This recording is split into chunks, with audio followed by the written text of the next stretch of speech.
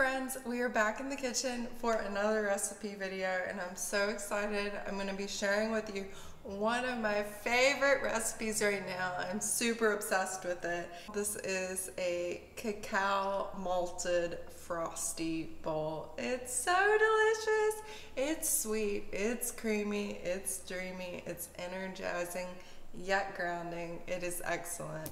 I've been eating it just about every day right now. So that's why I have to share it with y'all. I have to share my favorite recipes. So here we go. So everything is going into our handy dandy Vitamix. We've got about a cup and a half of homemade almond milk already in the Vitamix. I just made it. Check out that recipe video. It's super easy and so good. Worth it. So a cup and a half of almond milk. You could use a cup if you want this to be more of a nice cream, thicker texture. You could use more like two cups if you want it like super frosty, almost milkshake texture. So play around with the amounts and find what you like. So next I'm adding one tablespoon of maca powder and this is so delicious. It gives this its malty flavor. Now I've got two tablespoons of cacao powder. As you can see, these are a bit heaping. More cacao means more chocolatey, less cacao would be more malty. So do what feels right. Next I've got four medjool dates that I'm gonna pit and add. These are super ooey gooey fresh California medjool dates from Seven Hot Dates. I will link in the description to the dates because they are the best. Now I've got seven smallish bananas here. You could do six, you could do eight, depends on your calorie needs, and again, the kind of texture you're going for.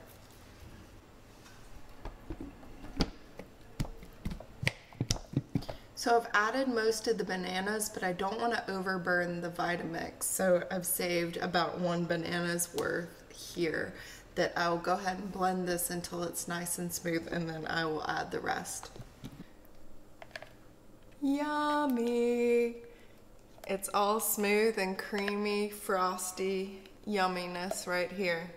This came out to be about the perfect texture. So I'm just gonna pour it into my bowl. Now for the taste test. it's so good. Y'all have to make this.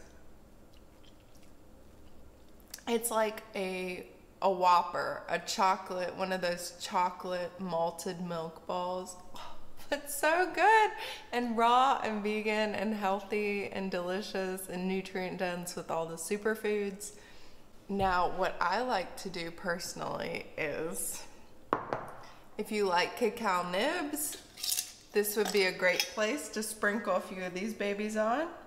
But my all-time favorite companion food for this bowl is these Zahidi and Deglet Noor dates, and these are also from Seven Hot Dates. This is a firmer variety, so they're not as sweet and juicy as the medjool dates. They're they kind of give you like a like something to chew on. They're chewier and crunchier and they have more of like a nuanced nutty flavor.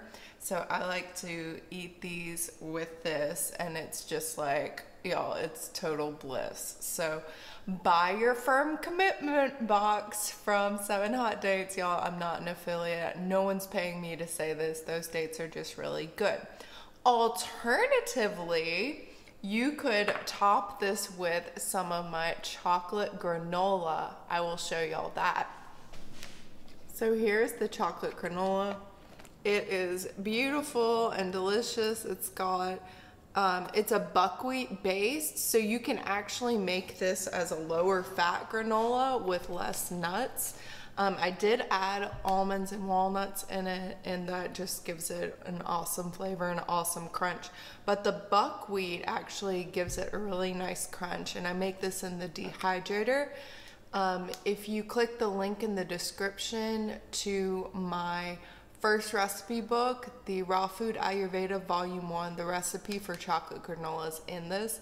And you can get that as an ebook for free or by donation. So, what do you have to lose? get the ebook.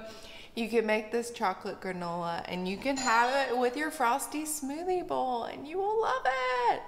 So y'all, thanks for watching. Please like this video if you like it. Subscribe for more videos, more information, more recipes, and until next time, take care, eat some amazing frosty smoothie. Love you.